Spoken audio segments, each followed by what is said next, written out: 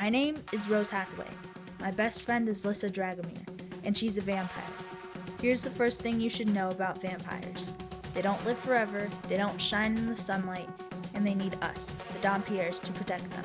You and your friend. I'm going to tell everyone what a psycho you are. Whoa, slutty friend here. What did I tell you about standing too close to her?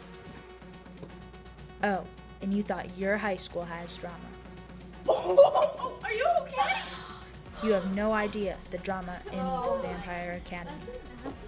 You also get to kick people's butts too.